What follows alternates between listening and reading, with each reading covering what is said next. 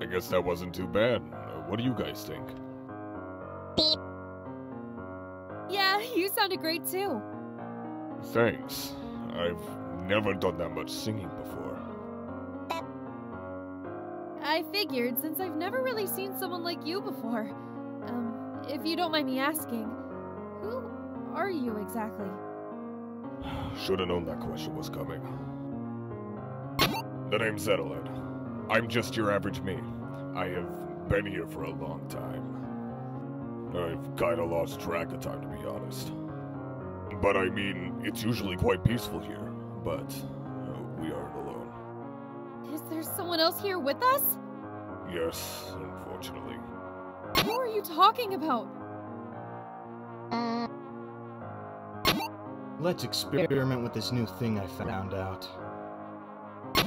Bingo. Put me down! Boyfriend, come on! Let me go, you have no idea what you're doing, damn it! Um, we should go. Did you really think that doing that was a good idea?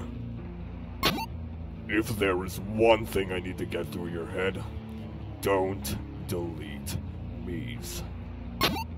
But let's see if you don't lose your head by the end of this. Three, two, one,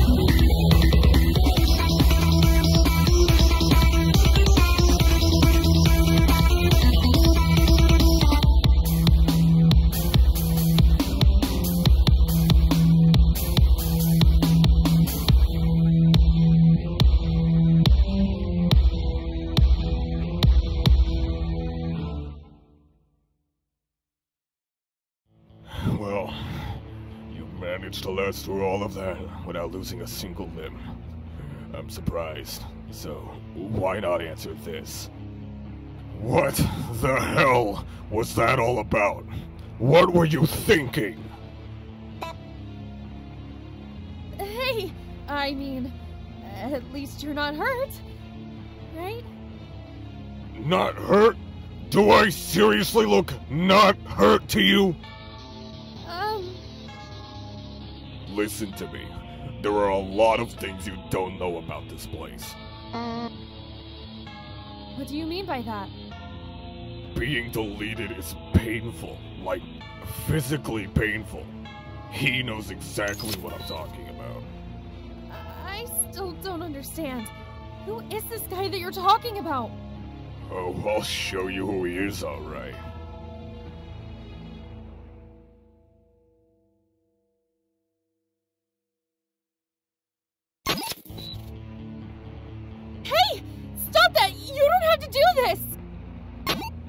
This is what you get.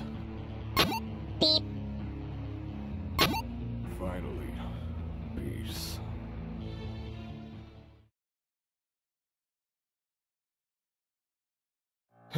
You've arrived. Uh, Is that. Yup, it sure is.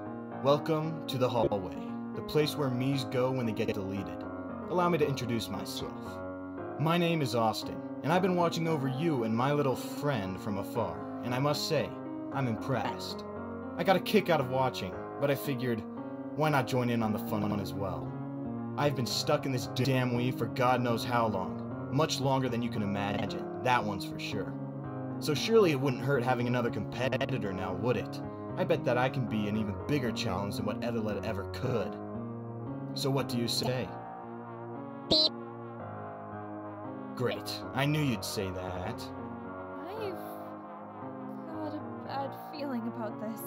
Don't worry. I'm sure he'll be just fine. He can handle it, won't you? Beep.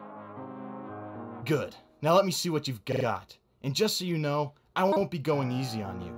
Get ready for me to blow your mind. Beep. Three, two,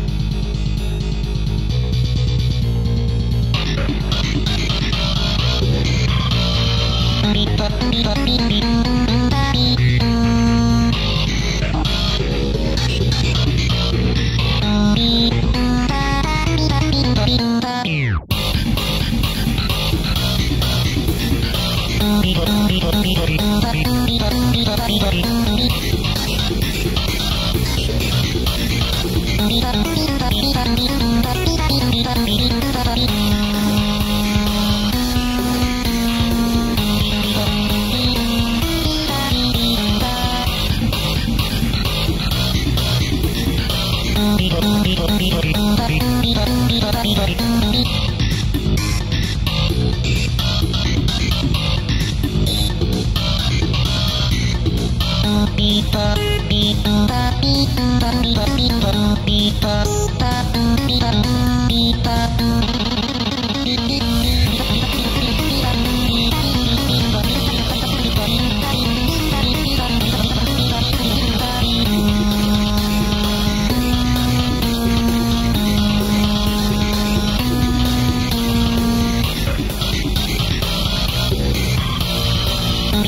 beep, beep.